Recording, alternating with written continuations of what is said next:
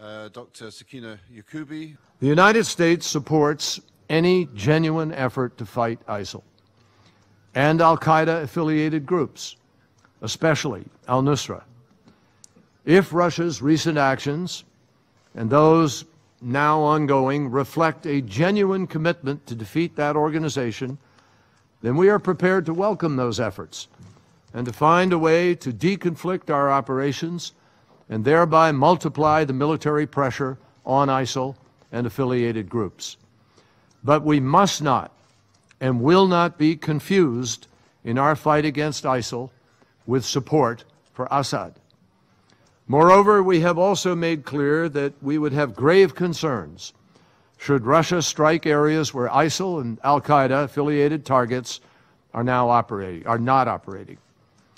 Strikes of that kind would question Russia's real intentions fighting ISIL or protecting the Assad regime.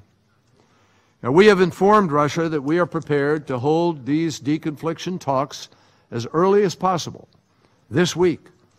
But let me be clear. The United States and the coalition will continue our ongoing air operations as we have from the very beginning. We have conducted a number of strikes against ISIL targets in Syria over the past 24 hours, including just an hour ago, and these strikes will continue. The Afghan Institute of Learning.